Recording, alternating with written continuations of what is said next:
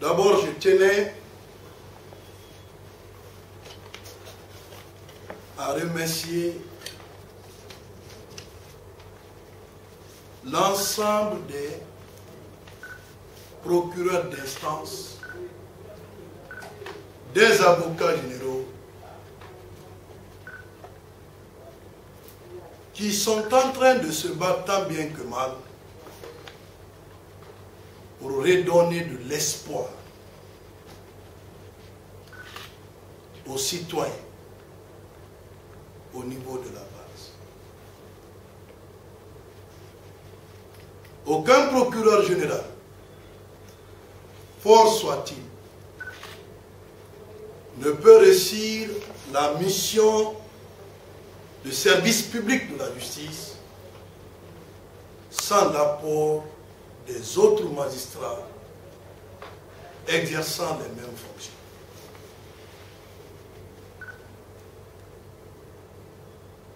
Avant de toucher les points à l'ordre du jour, vous me permettrez de relever les manquements que nous avons constatés dans le ressort de la Cour d'appel de Conakry lors de notre mission d'inspection. Notre mission d'inspection, notre mission d'inspection a débuté au niveau du tribunal de première instance de Forécaria. Pendant cette mission, le premier élément que nous avons visité, c'était la prison civile de Forécaria. Mais quel a été le constat? Le constat a été que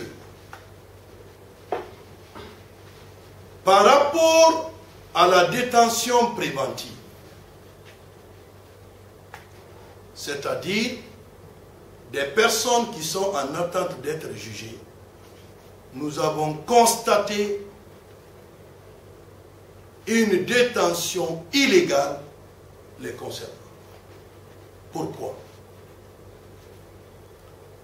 La loi dit que le procureur général veille à l'application de la loi pénale dans son ressort. C'est ce que la loi dit.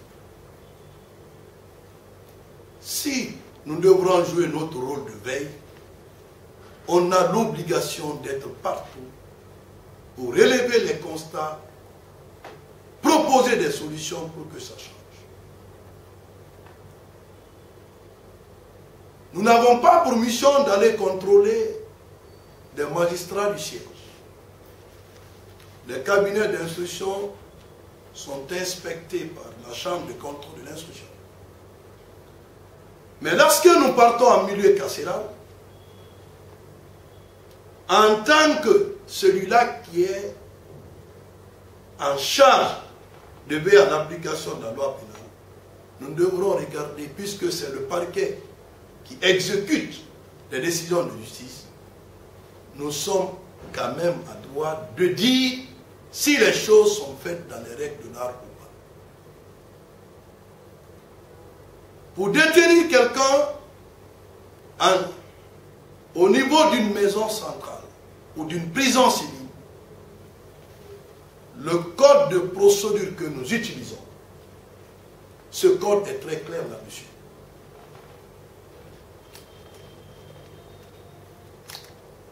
Un juge d'instruction ne peut pas placer quelqu'un en détention sous la base d'un simple mandat de dépôt.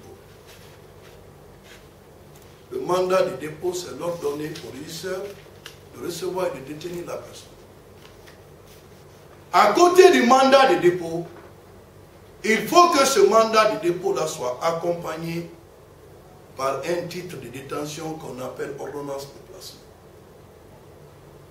Mais si vous partez, vous ne trouvez que des mandats de dépôt, en l'absence du titre de détention, cette détention n'a pas d'autre qualification que la détention illégale. nous avons conféré avec le président du tribunal, avec tous les magistrats qui évoluent au niveau de la chaîne pénale. Je peux vous dire aujourd'hui que cette situation a été corrigée. Les différentes détentions ont été régularisées. Si on n'aurait pas fait cela, on aurait failli à notre mission. Deuxième élément de notre activité au niveau de Forcaria, c'est l'incinération des quantités de chambres. Nous avons constaté dans ces derniers temps la rentrée massive des quantités de chambres indiennes par voie terrestre et maritime au niveau de la zone de Forcaria, compte tenu de la porosité de nos frontières. La lutte contre la circulation de ces produits est plus que nécessaire dans la mesure où, si vous regardez 90% de la population guinéenne est juvénile. Ces jeunes aujourd'hui s'adonnent à des pratiques de consommation qui ont un impact négatif au niveau, franchement, de leur état chichique et psychologique. Nous avons incinéré des quantités importantes, mais ce qui a beaucoup plus attiré l'attention du parquet général, c'est le fait que le lendemain de l'incinération, on a saisi dans la nuit une quantité de 583 kg de chambre À peine après avoir fini d'incinérer, J'ai dit aux officiers de police judiciaire, pour ce qui est de la répression des infractions, le président de la République a été formel. Et je crois que bon nombre de Guinéens ignorent franchement le sens et le contenu de son message lorsqu'il dit que la justice désormais doit être la boussole. C'est mal compris. Mais nous, en ce qui nous concerne, ce message-là ne doit pas être un vain mot. La responsabilité du parquet général près la cour d'appel de Conakry est une responsabilité entière et absolue. Dans la mesure où l'on ne peut pas se permettre de faillir à nos obligations au détriment de cette pauvre population.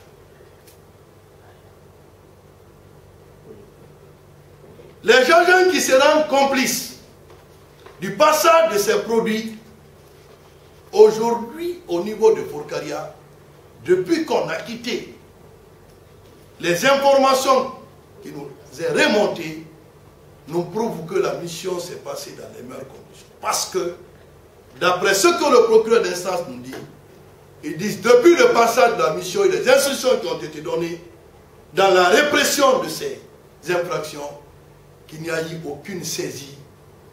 Ça fait presque deux semaines. Ça, c'est une très bonne nouvelle on ne peut que remercier et encourager les agents de force publique, le préfet sur le plan administratif qui est en train d'œuvrer, parce que les autorités administratives jouent la prévention, les autorités judiciaires doivent jouer la répression. Mais les deux doivent travailler en concert, dans l'intérêt de nos populations. Alors, ce qu'il faut retenir de manière formelle, c'est qu'au-delà de Forêtaria, nous sommes passés au niveau de Koya. Qu'est-ce qu'on a constaté? On a constaté au niveau de Koya que dans plusieurs services de police judiciaire de la gendarmerie, tout comme de la police, il y a absence totale des registres que le code de procédure impose à tout officier de police judiciaire. Nous reviendrons tout de suite sur ces défaillances. Il fera l'objet d'ailleurs d'un communiqué tout de suite. On a compris au niveau de la compagnie de la gendarmerie de Koya que certains officiers de police judiciaire placent les gens en garde à vue sans un procès verbal de garde sans tenir un registre de garde Ce qui fait telle sorte que le citoyen qui est privé de sa liberté, on ne sait pas quand est-ce qu'il a été privé de sa liberté, on ne sait pas quels sont les faits qu'on lui reproche, on ne sait pas s'il est poursuivi pour des affaires commerciales ici. Nous avons procédé à la libération immédiate de ces personnes qui étaient détenues sous la base de ces défaillances-là. Du côté du commissariat central de Forêtaria, c'est quasiment le même constat.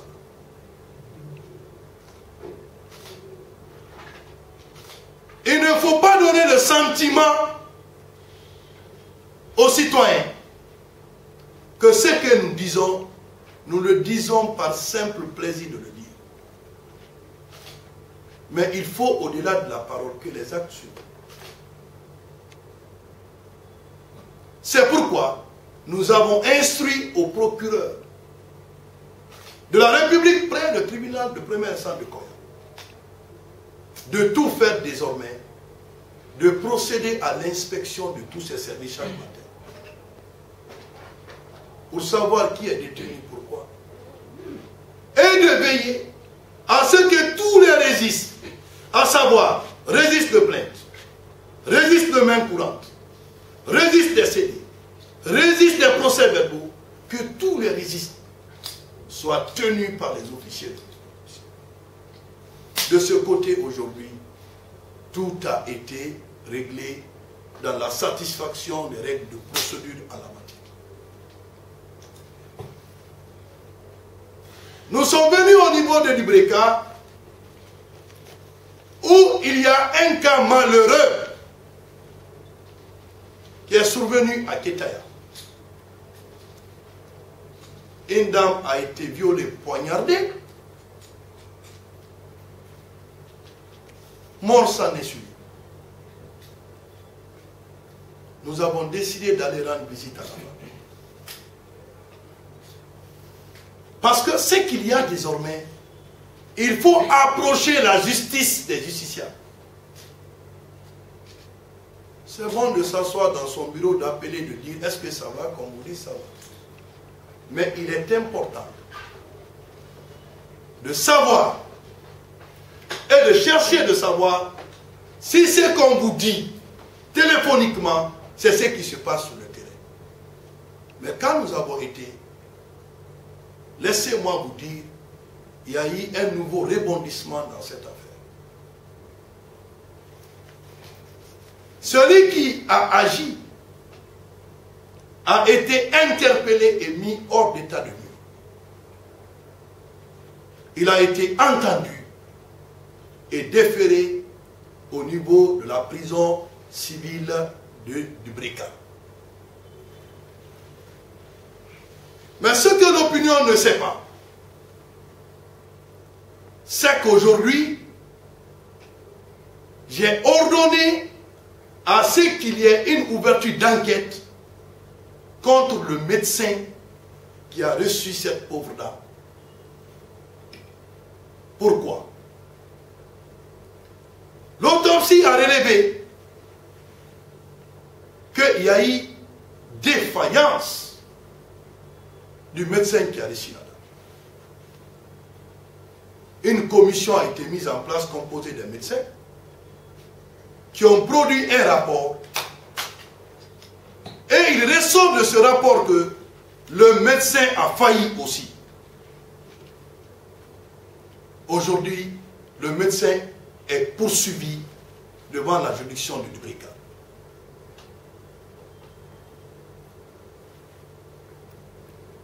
On ne peut pas vouloir une chose de son contraire. On veut une justice.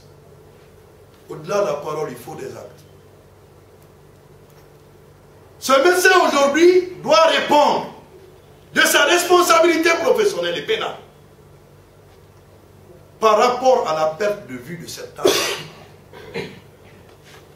Le reste des éléments seront discutés à l'audience et j'ai demandé au procureur d'instance de tout faire davantage à ce que cette affaire-là soit orientée en flagrant délit et au moment venu, l'opinion publique sera informée du sort réservé au médecin qui a reçu cette dame, qui pour l'instant bénéficie, il faut le dire, de la présomption d'innocence.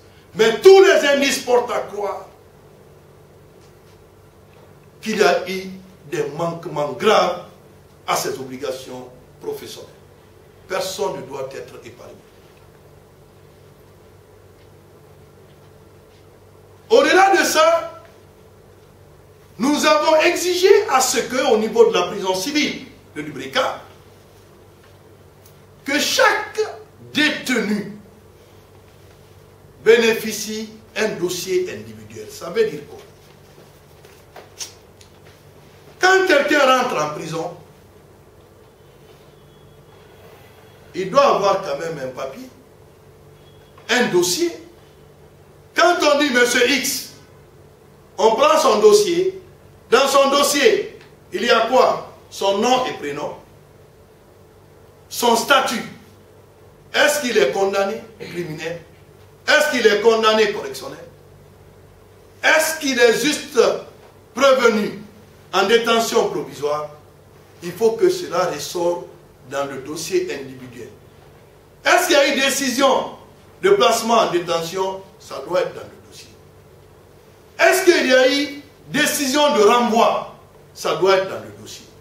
On a trouvé que dans la prison civile, il n'y avait aucun dossier individuel des personnes.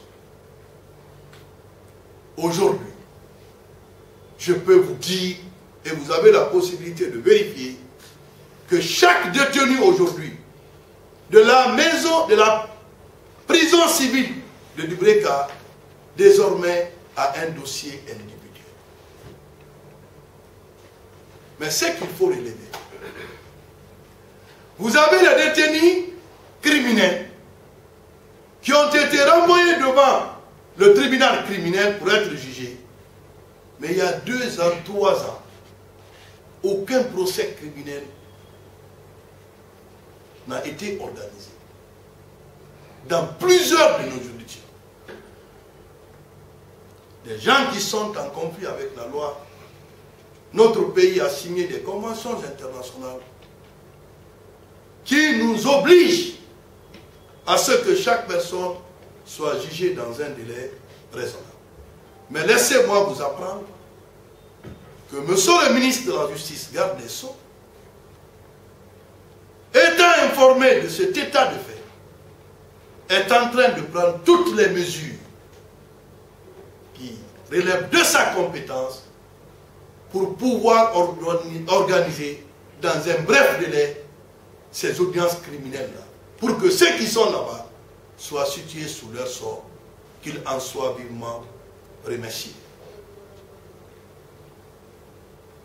Au-delà de ça, nous sommes allés à Fria, où la situation de Fria est une situation puteuse, pitoyable, déplorable, ahurissante. Une prison civile sans clôture.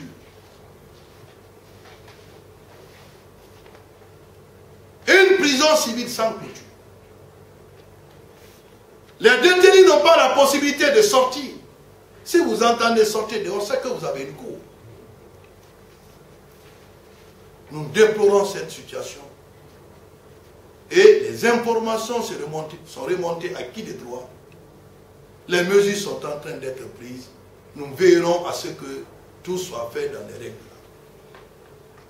À ce niveau également, nous avons constaté que les détenus qui sont au niveau de la prison civile de Fria, la majeure partie de ces gens sont aussi détenus illégalement. Parce que les règles en la matière ne sont pas respectées. On a instruit monsieur le juge de paix de pouvoir retravailler sur ces détentions. Et à la dernière nouvelle, il nous a été remonté que ces détentions ont été régularisées. Mais nous partirons encore sur le terrain bien vu pour aller voir la conformité de ce qu'on nous dit et ce qui est. Au niveau de la compagnie de la gendarmerie, une absence totale de résistance. Les gens sont détenus dans des conditions d'hygiène inacceptables. Les locaux disciplinaires doivent être des locaux appropriés. Moi, je suis porteur de la voix de la société. Si à la voix la plus autorisée, pour parler au nom de la société, c'est nous. C'est ça le rôle du ministère public. C'est un ministère public qui doit être objectif, qui doit dépasser la passion, l'émotion, pour être cohérent dans la directive qu'elle veut emprunter. Cette fonction de ministère public, elle est noble. Je ne peux pas admettre que l'on place les gens dans les locaux disciplinaires pour des affaires de recouvrement. Je ne suis pas d'accord. On a mis le commandant en demeure de tout faire, tous les résistes qui doivent être établis dans le cadre des activités des officiers de police judiciaire que cela soit fait de manière responsable. Mais laissez-moi vous dire qu'au niveau du commissariat central également, il y a une confusion notoire entre ce qui doit être fait et ce qu'on a trouvé. Quelle est cette contradiction? Il faut, dans le cadre de la mesure de garde à vue, les locaux disciplinaires pour des femmes doivent être distincts des locaux disciplinaires des hommes. Et pour des mineurs, selon la tranche d'âge. On a remarqué, ce qui est heureux d'annoncer, c'est qu'aucune femme n'était placée en garde à vue. Mais la question a été posée au cours de l'inspection. Si c'est une femme qui est en conflit avec la loi, poursuivie pour des faits criminels, pour des besoins d'enquête, si vous avez besoin de placer cette femme en garde à vue, où vous placez? La réponse est dit dans, nos bureaux. J'ai dit que les bureaux ne sont pas des locaux de garde. Une femme qui en conflit avec la loi, elle se retrouve dans le bureau du commissaire. Si le commissaire dit, si elle dit, j'ai fait un objet de viol, nous sommes en Guinée. Les gens utilisent la presse pour les fins de propagande. Il suffit de faire ça un grand titre. Entre guillemets, on fait ça pour attirer l'attention du public. Grand titre, grand format. Une femme violée à terre. Pour braquer l'opinion. Pour attirer l'opinion. Nous connaissons la méthode. Pour les éviter cela, j'ai dit de procéder à la séparation des locaux disciplinaires de faire en sorte que les dossiers concernant des femmes, même pas des femmes, qu'on respecte les règles selon lesquelles il doit y avoir des locaux disciplinaires séparés. Ces mesures-là ont été prises et aujourd'hui je suis très heureux que le commissaire central, à travers le juge de paix, ait remonté l'information que désormais ces locaux-là sont disponibles. On ne peut que nous en réjouir et nous féliciter.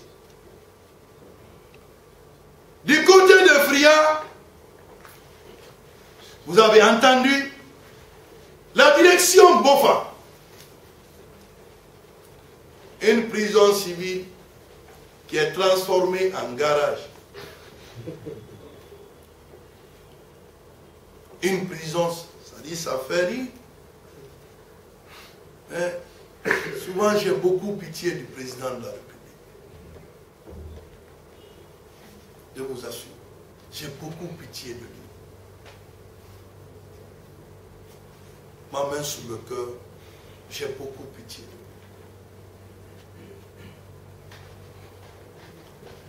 Le Guinéen ne va pas commencer à te combattre. C'est quand il saura que tu as la volonté de changer là où il a échoué.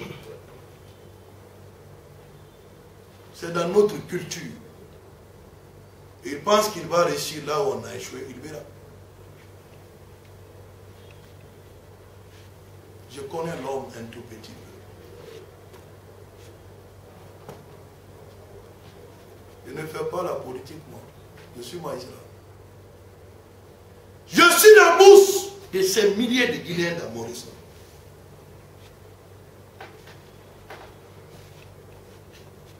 Si toi seul, tu veux faire, il est très difficile de mettre tout le monde dans ta vision. De manière sincère et honnête.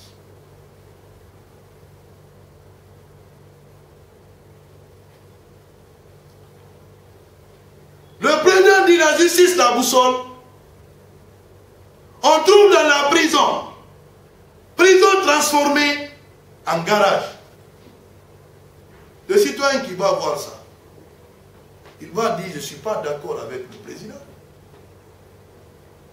Sinon, le milieu carcéral, ce n'est pas ça. Mais est-ce que c'est lui sa faute? Il a mis chacun face à sa responsabilité. On ne peut pas l'imputer la défaillance administrative des personnes en qui il porte sa confiance. On ne gouverne pas seul, on gouverne avec les autres.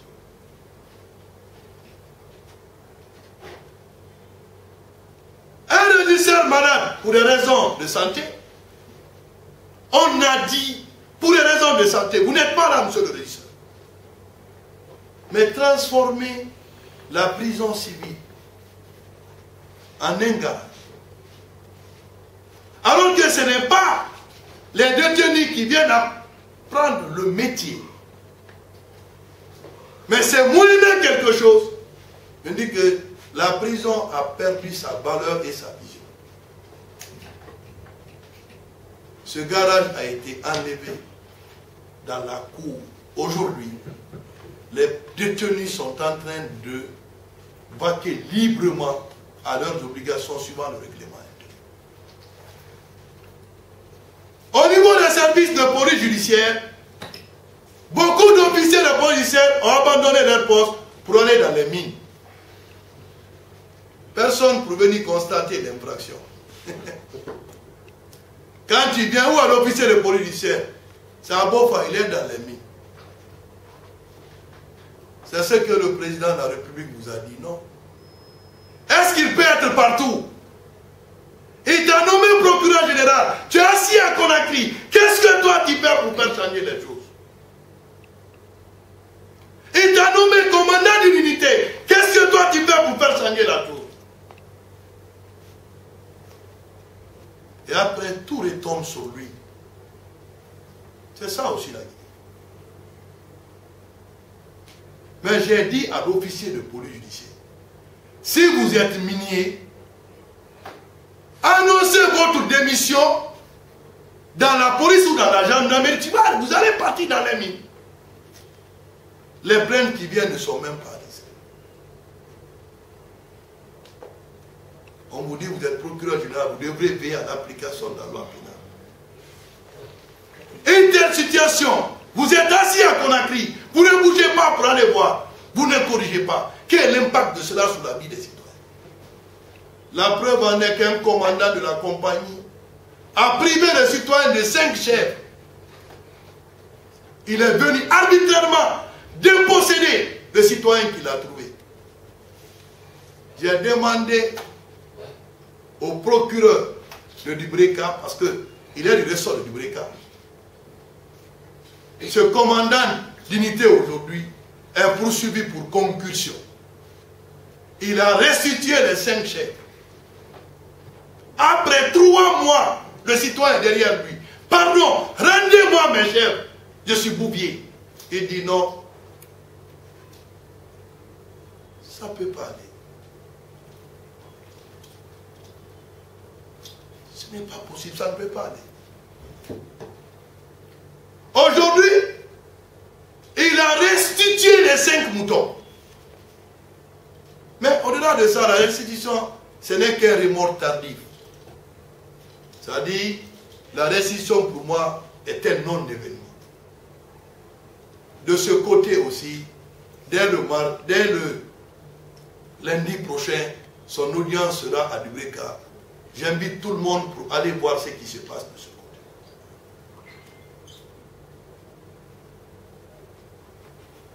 Au-delà de tout ça, ce qui est grave, c'est du côté de Boké.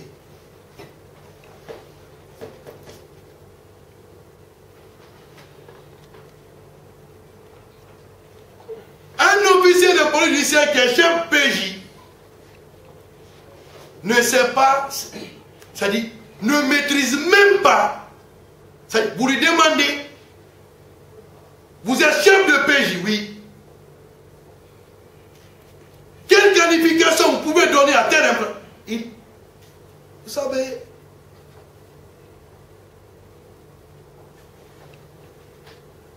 ce pays-là n'est pas difficile. Je vous assure, ce n'est pas difficile. Mais le Guinée a besoin de la confiance, pas la parole. Il ne te croit que si ce que tu fais est conforme à ce que tu dis.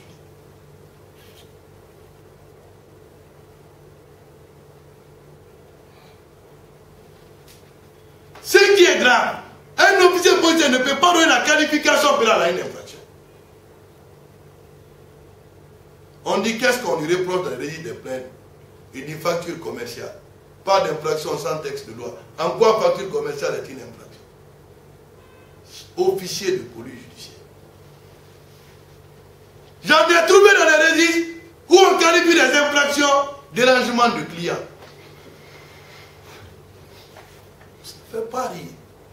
Et on vous dit de donner l'habilitation à ces gens-là pour pour faire des actes de police judiciaire. Moi, en tant que procureur puis-je dormir avec la conscience tranquille Que j'ai donné une arme, entre guillemets, à quelqu'un qui ne sait pas manier. Quels vont être les dégâts? Ce qui m'a poussé, dès ma rentrée à Bofa, d'appeler tous les officiers de police judiciaire. J'ai dit désormais, l'équation est simple. Je ne donne pas mon habilitation d'abord. Tant qu'on ne vous donne pas les cours basiques. Certains de vos confrères qui étaient présents peuvent témoigner. On dit à un officier de police judiciaire, si on vous dit tout de suite, il y a découverte de corps juste derrière le tribunal, qu'est-ce que vous devriez faire? Il vient, il s'arrête dans la simulation d'enquête. J'ai fait intervenir deux personnes pour simuler cette enquête. Qu'est-ce que vous faites? Vous trouvez quelqu'un en train de, de s'occuper du corps. Il dit, moi, quand je viens, s'ils ont dérangé le corps, je tourne le corps, je remets le corps. Je dis, toi, tu n'auras pas ton habilitation.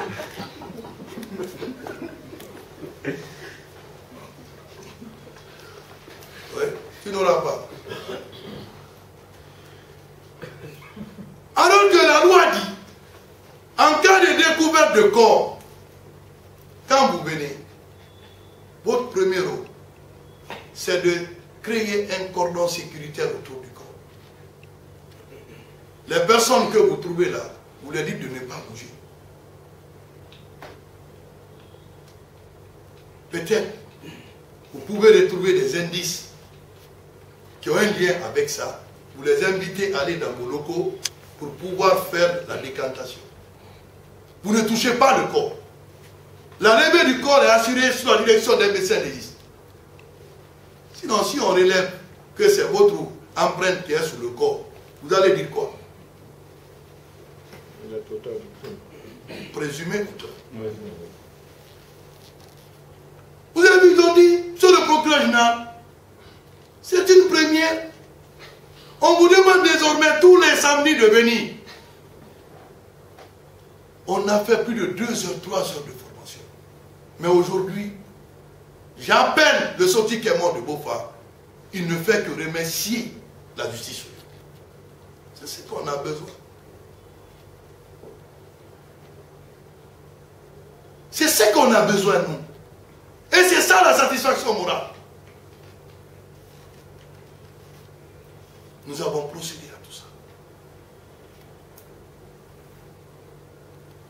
Bokeh aujourd'hui, il y a plusieurs sociétés minières qui ne respectent pas les règles environnementales. Pourtant, on a un code de l'environnement. J'ai dit au procureur, ne vous limitez pas à recevoir des dossiers concernant le vol de carburant.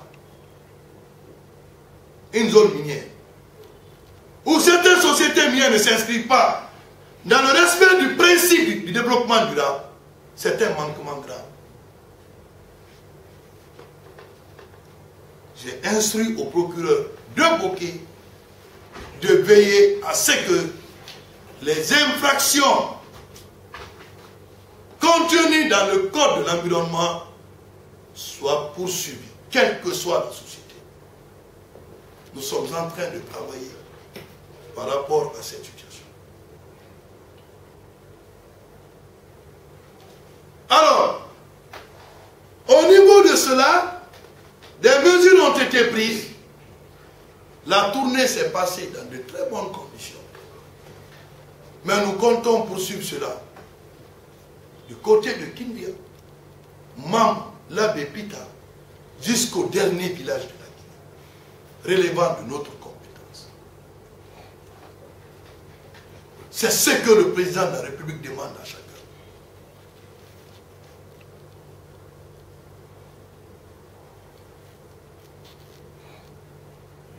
Cette transition, elle finira un jour. Mais chacun, devant sa responsabilité, sera appelé devant le tribunal de l'histoire. Qu'on arrête de faire de semblant avec le président de la République. Qu'on l'aide. S'il gagne, nous allons tous gagner.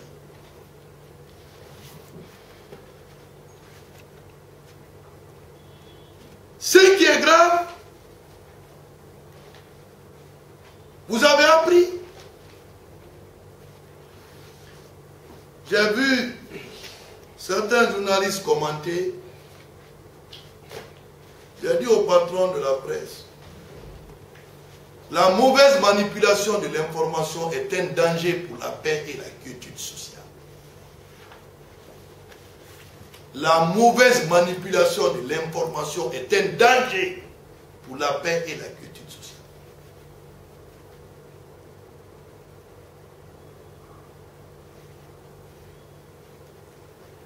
Il y a eu le cas de décès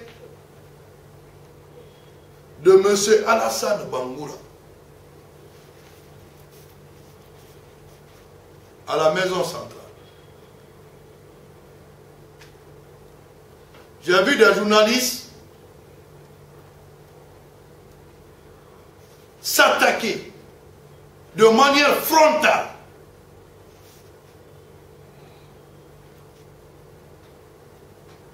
sans avoir la certitude de ce qu'ils ont comme information à l'institution judiciaire. Je voudrais faire une petite mise au point. Mon procureur général, j'ai auprès du tribunal pour enfants un procureur spécial. C'est lui qui reçoit les plaintes, dénonciations, tous les dossiers d'éléments des questions des mineurs. Dans ce cas d'espèce, ce qui est déplorable, j'ai dit à mon procureur, l'obligation professionnelle du magistrat, ce n'est pas à moi d'examiner ça. Mais la responsabilité hiérarchique du procureur général, je vais suivre. Qu'est-ce qui s'est passé? Le monsieur a été placé, le monsieur a été placé en détention provisoire pour des faits de vol et complicité, faits prévus et punis par disposition des articles «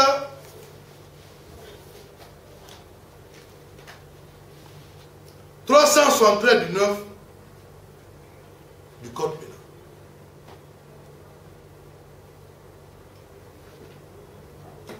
Le 28 février 2022,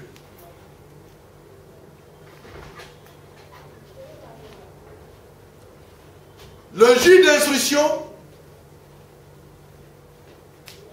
chargé des affaires de mineurs a procédé à l'interrogatoire des suspects, c'est-à-dire Alassane Bangoura et mademoiselle Kumba Diallo.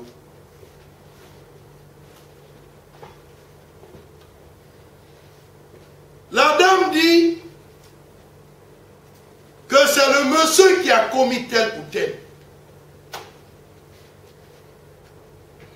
Il reviendra au juge d'instruction d'élucider où se trouve la vérité, où se trouve la raison. Mais ce qui est déplorable, lorsqu'on dit, pour une affaire de téléphone, de dire à la personne tenir en prison, de payer une caution de 10 millions.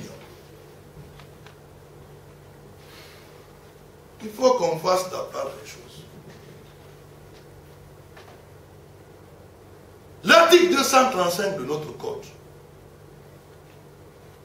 donne le pouvoir au juge d'instruction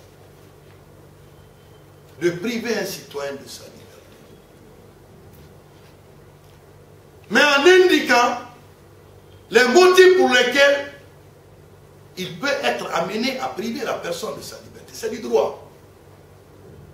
Tout comme notre code permet, dans le cas de la mise en liberté d'une personne placée en détention, que le juge en charge du dossier puisse le libérer ou ordonner sa liberté sous caution.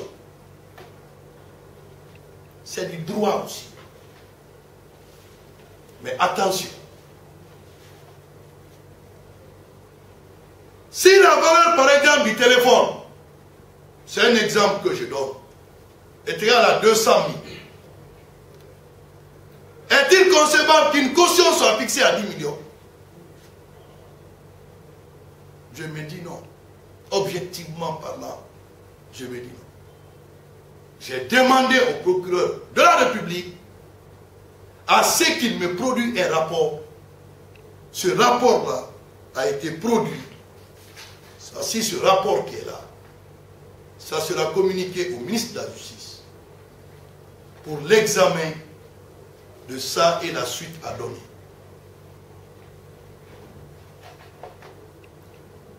J'ai été saisi par l'avocat de la personne décédée qui m'a écrit pour me dire qu'il a des doutes par rapport au décès de son client. Moi, je suis procureur général.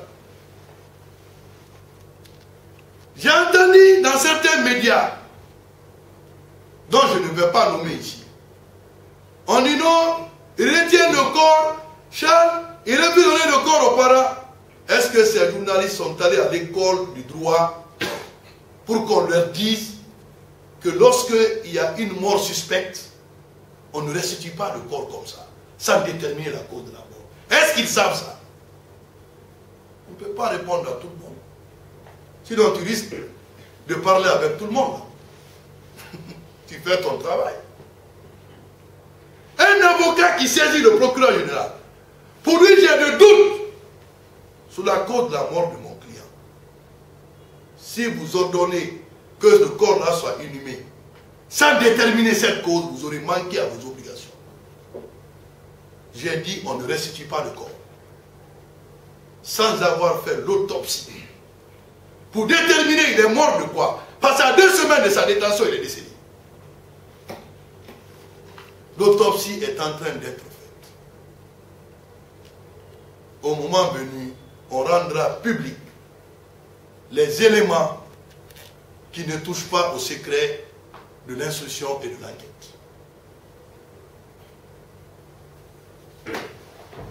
Nous quittons ce dossier. Nous venons à cet autre dossier. Vous avez appris qu'il y saisie des armes à Wanindar.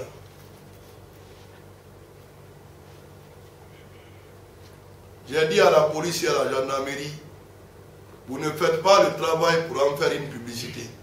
Aucun officier de police judiciaire n'est habilité désormais à communiquer là. Parce que ça devient de la pagaille. Ce n'est pas un trophée de guerre que vous brandissez pour dire que votre service travaille bien. Vous n'avez pas besoin. Votre travail est encadré.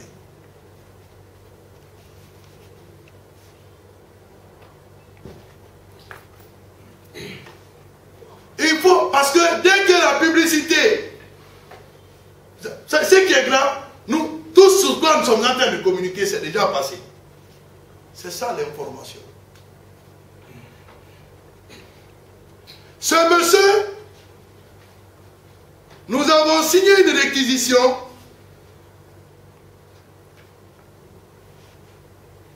dans le cadre de l'exécution d'une décision de justice.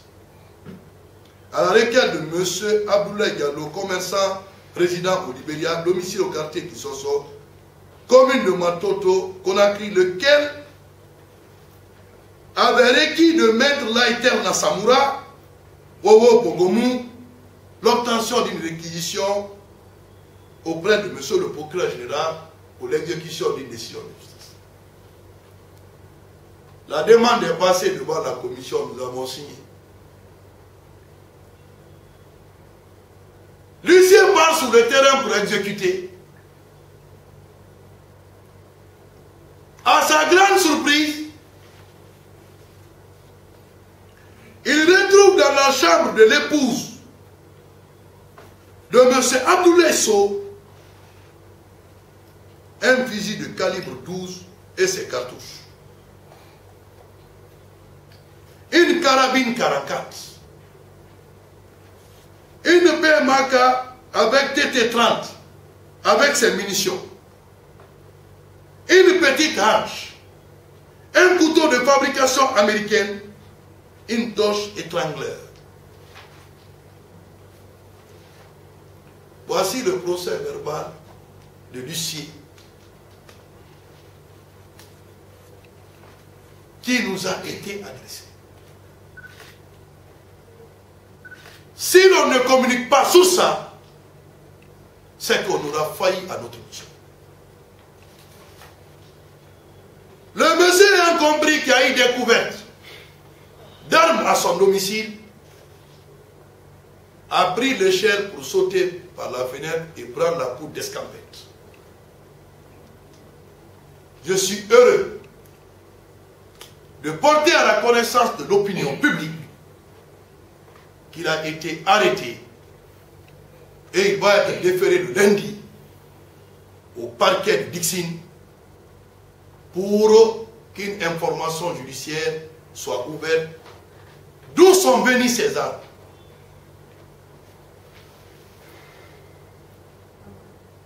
C'est la grande question.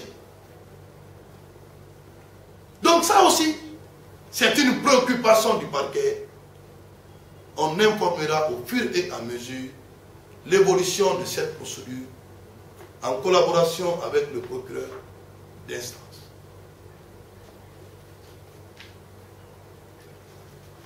Alors, au-delà de ça,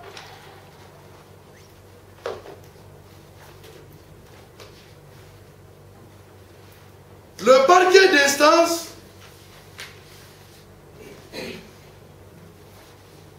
informe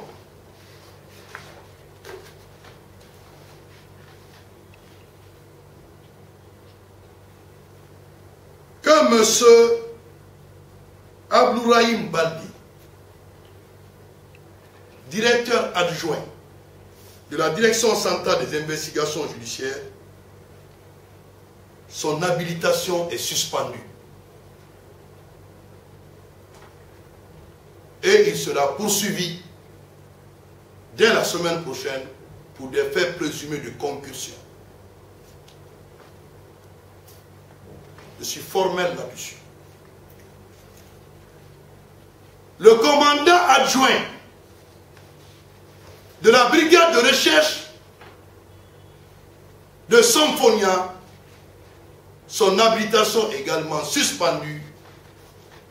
Il sera poursuivi pour détention illégale et arbitraire. Son procès aussi s'ouvrira dès la semaine prochaine.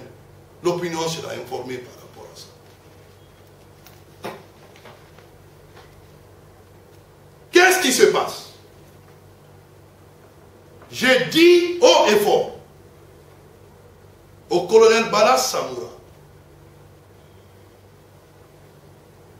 de se retirer de toutes les activités de police judiciaire.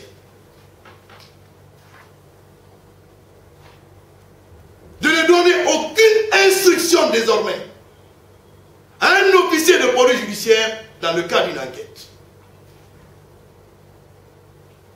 Le haut commandant de la gendarmerie n'est pas un officier de police judiciaire.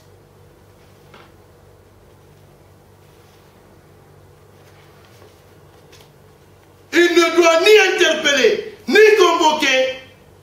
Ce n'est pas son travail. Il doit laisser la main libre aux officiers de police judiciaire qui sont habilités par le parquet. En cas de manquement à cette directive, le parquet général n'hésitera pas d'engager des poursuites judiciaires. Il reste formel là-dessus.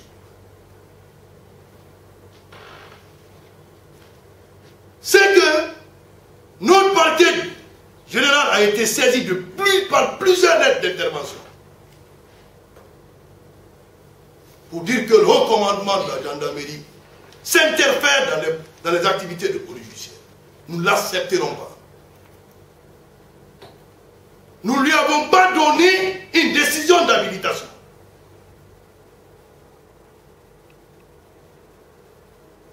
Il ne peut pas poser d'acte de police judiciaire.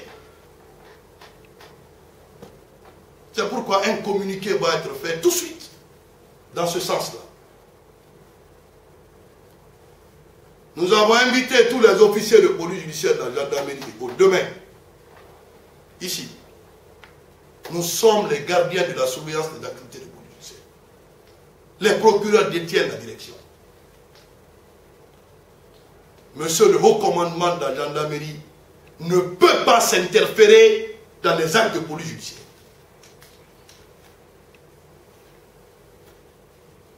Je le dis, il ne doit pas. Il ne peut pas être directeur des activités de police judiciaire.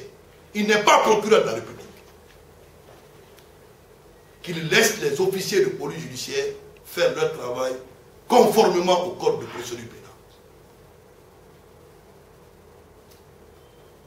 Il y a eu des plaintes contre certains officiers de police de la direction centrale des investigations judiciaires.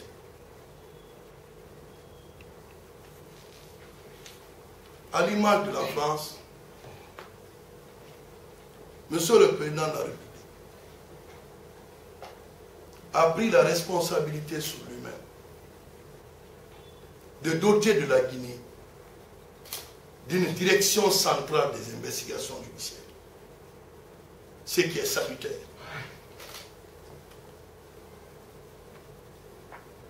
Tous les officiers qui ont été recrutés pour l'opérationnalisation de cette direction centrale, centrale des investigations judiciaires, ce sont des personnes, hautes personnalités, qui ont fait leur preuve ailleurs, qui ont accepté de rentrer en Guinée pour travailler pour les Guinéens. Le travail de ceci ne doit pas être bafoué par le haut commandement de la gendarmerie. Ce n'est pas son travail. Il doit les laisser faire leur travail.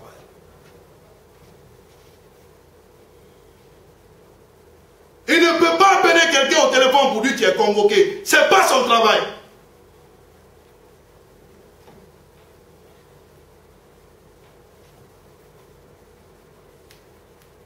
Je ne confonds pas au commandement de la gendarmerie à la direction des investigations.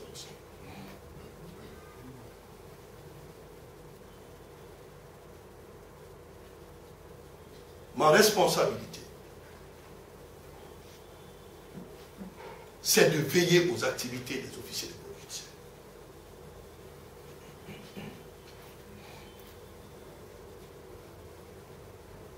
Ces officiers policiers doivent savoir une seule chose, qu'ils ne confondent pas l'autorité administrative et l'autorité judiciaire qui coordonne l'activité. Nous l'accepterons jamais aucune dérive venant de qui que ce soit, dans le cas des activités policières, nous serons intransigeants.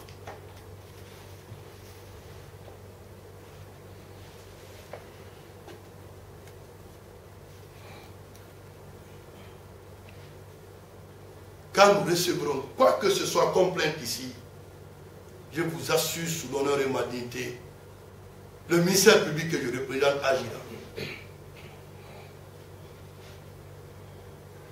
Sur ce, j'ai un communiqué à faire passer. Et que cela soit compris par tous. Juste un, un instant, voir.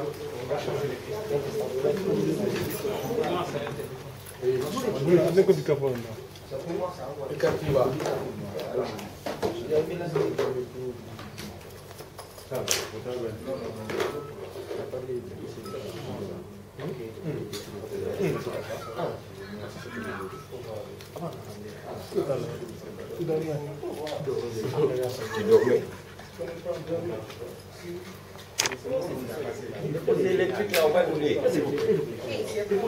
Déposez, déposez. Déposez. Déposez les trucs, les dictaphones. Désactivez les réseaux, s'il vous plaît.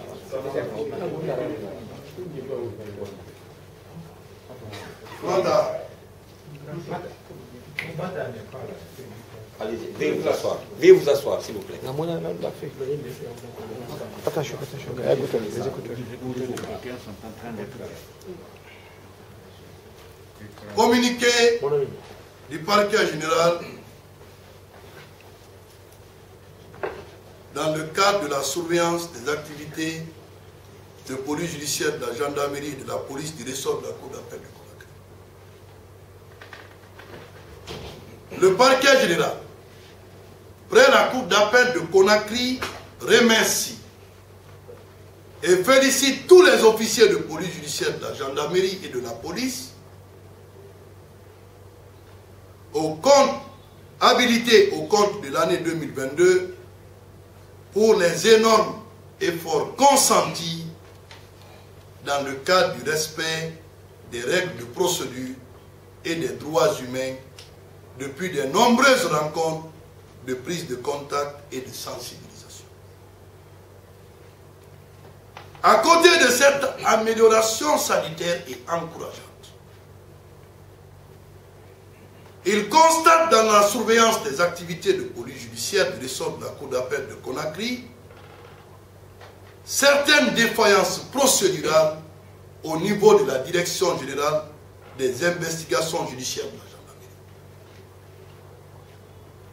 En effet, le parquet général a été saisi par plusieurs lettres d'intervention dénonçant l'ingérence du haut commandant de la gendarmerie, directeur de justice militaire, colonel Bala Samoura, dans la conduite des activités de police judiciaire en termes d'interpellation des personnes mises en cause, d'exécution des commissions rogatoires des différents cabinets, tant des juridictions d'exception que celles du droit commun.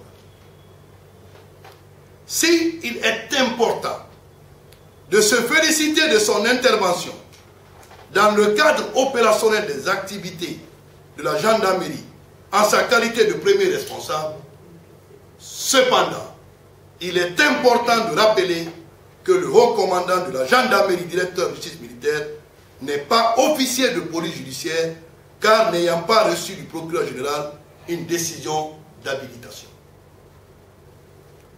Par voie de conséquence, il ne saurait être fondé légalement, sans s'exposer à des poursuites judiciaires, à poser des actes de police judiciaire. Dans la conduite des enquêtes menées par les services de police judiciaire de la gendarmerie de manière générale et celles menées par la direction de la gendarmerie en particulier. Indiquons de passage que l'action publique est celle qui appartient à la société pour le maintien de l'ordre public par la poursuite des infractions pénales. En matière de procédure, il revient seul aux officiers de police judiciaire de rechercher les crimes, les délits et contraventions, mais également de procéder à la recherche des preuves tout en traduisant les présumés auteurs devant les tribunaux chargés de les punir conformément à l'article 9 du Code de procédure pénale. Lorsqu'une information est ouverte, il exécute des délégations de juridiction d'instruction et défère à leur réquisition. Les chefs hiérarchiques ne peuvent pas diriger, surveiller et contrôler les activités de police. En application des dispositions des articles 10, 11 et suivants du Code pénal, la police judiciaire est exercée sous la direction du procureur de la République par les officiers et agents de police judiciaire ainsi que par les fonctionnaires et agents auxquels sont attribuées par la loi certaines fonctions de police judiciaire. Le procureur de la République et le juge d'instruction ont le libre choix des formations auxquelles appartiennent les officiers de police judiciaire. Enfin, la police judiciaire est placée dans chaque ressort de la cour d'appel sous la surveillance du procureur général qui a autorité sur tous les représentants du ministère public conformément à l'article 43 du Code de procédure pénale. Le parquet général rappelle à tous les officiers de police judiciaire de respect strict des règles de procédure sans manquer à leur devoir d'information hiérarchique à l'égard de leur chef de service sous les procédures d'enquête en cours. Conformément aux dispositions du Code de procédure pénale et pour une bonne application pénale, pour une bonne application de la loi pénale dans les ressorts de la Cour d'appel de Conakry, il est interdit 1.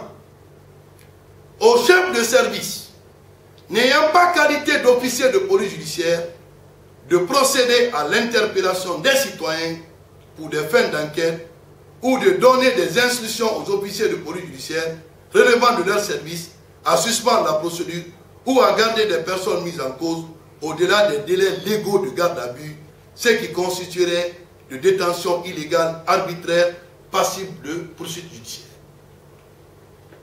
Aux officiers de police judiciaire de placer une personne mise en cause en garde à vue sans l'information des procureurs d'instance, conformément à l'article 87 du Code de procédure pénale. De communiquer par voie de presse sous les faits d'enquête sans l'accord du procureur de la République dans le souci de la préservation du secret d'enquête ou de présenter les personnes poursuivies à visage découvert sur les enceintes des médias audiovisuels.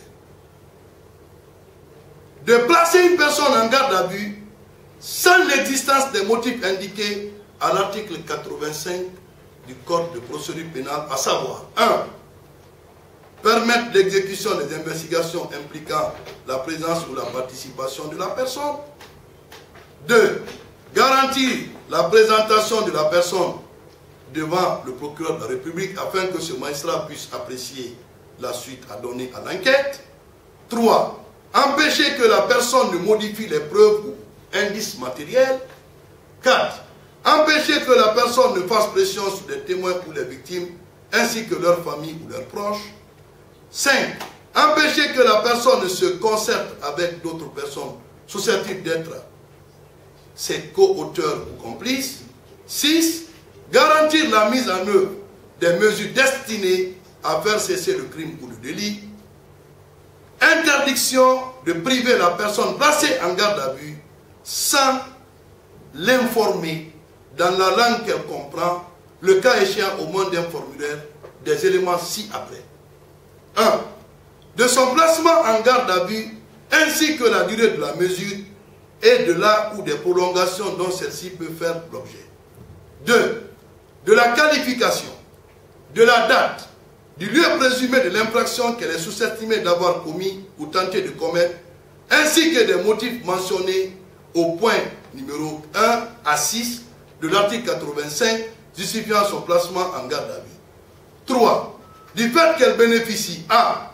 Du droit de faire prévenir un proche ou son employeur ainsi que, si elle est de nationalité étrangère, les autorités consulaires de l'État dont elle est ressortissante conformément à l'article 91 du Code de procédure pénale. B. Du droit d'être examiné par un médecin conformément à l'article 92 du Code de procédure pénale. C du droit d'être assisté par un avocat conformément aux articles 93 à 97 du Code de procédure pénale. D. S'il y a lieu, du droit d'être assisté par un interprète. E. Du droit de consulter dans les meilleurs délais et au plus tard avant d'éventuelles prolongation de la garde à vue les documents mentionnés à l'article 95 du Code de procédure pénale. F. Du droit de présenter des observations au procureur de la République ou le cas échéant au juge d'instruction lorsque ce magistrat se prononce sur l'éventuelle prolongation de la garde à vue tendant à ce qu'il soit mis fin à cette mesure. Si la personne n'est pas présentée devant le magistrat, il est demandé aux officiers de police judiciaire de faire connaître oralement ses observations dans un procès verbal d'audition qui doit être communiqué à celui-ci avant qu'il ne statue sous la prolongation de la mesure. G. Du droit, lors des auditions, après avoir décliné son identité, de faire des déclarations, de répondre aux questions qui lui sont posées ou de se taire. Interdiction formelle d'émettre les convocations sans indiquer les faits et leur base légale ou de convoquer tout citoyen par simple appel téléphonique pour des fins d'enquête. Interdiction d'auditionner la personne à l'égard de laquelle il existe des raisons plausibles de soupçonner qu'elle a commis ou tenté de commettre une infraction sans qu'elle ne soit préalablement informée, conformément à l'article 82 du Code de procédure pénale, suivant procès verbal sous les droits suivants. 1. Droit d'être informé de la qualification, de la date et du lieu présumé de l'infraction qu'elle est susceptible, qu'elle est soupçonnée d'avoir commise ou tenter de commettre. Deux, du droit de quitter à tout moment les locaux où elle est détenue. Trois, le cas échéant, du droit d'être assisté par un interprète. Quatre, du droit de faire des déclarations, de répondre aux questions qui lui sont posées ou de se taire. Cinq, si l'infraction pour laquelle elle est, elle est entendue est un crime ou un délit, puni d'une peine d'emprisonnement, du droit d'être assisté au cours de son audition ou de sa confrontation, selon les modalités prévues aux articles 97-98 du Code de procédure pénale, par un avocat choisi par elle ou, à sa demande, désigné d'office par le bâtonnier de l'ordre des avocats. Elle est informée, cette personne bien entendu, des frais seront à sa charge, sauf si elle remplit les conditions d'accès à l'aide juridictionnelle qui sont rappelées par tout moyen. 6. De la possibilité de bénéficier, le cas échéant, gratuitement de conseil juridique dans une structure d'accès du droit. Le parquet général rappelle au respect de l'article 94 du Code de procédure pénale qui permet l'avocat désigné dans les conditions prévues à l'article 93 du Code de procédure pénale par la personne mise en cause de communiquer avec elle dans les conditions garantissant la confidentialité de l'entretien. Toutefois, le parquet général précise qu'en la matière, la durée de l'entretien ne peut excéder 60 minutes, sauf en cas de prolongation de la mesure de garde à vue, à la demande de la personne mise en cause, conformément aux règles de procédure en la matière.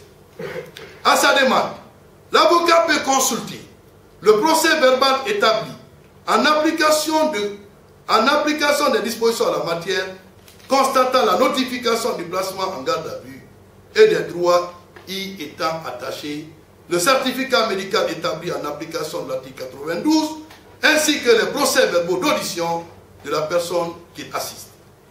Le parquet général précise, à l'intention de l'opinion publique, qu'à titre exceptionnel, sur la demande de l'officier de police judiciaire, le procureur de la République ou le juge d'instruction, selon les distinctions prévues à l'article 93 du Code de procédure pénale, peut autoriser par décision écrite et motivée, le report de présence de l'avocat lors des auditions ou confrontations, si cette mesure apparaît indispensable pour des raisons impérieuses tenant aux circonstances particulières de l'enquête, soit pour permettre le bon déroulement d'investigations urgentes tendant un recueil ou à la conservation des preuves, soit pour prévenir une atteinte imminente aux personnes.